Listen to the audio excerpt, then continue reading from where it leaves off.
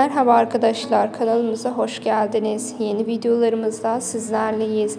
Başrollerinde Demet Özdemir ve Engin Akgüler'in rol aldığı Adam Farah dizisi yeni bölümüyle ekranlara geldi. Ve bundan sonra bakalım neler yaşanacak, Tahir, Farah hakkındaki gerçekleri öğrenebilecek mi? Farah Tahir'e geri dönecek mi? Heyecan dolu yeni sezonun yeni bölümleri bizleri bekliyor. Yeni videolarda görüşmek üzere. Hepinize iyi seyirler.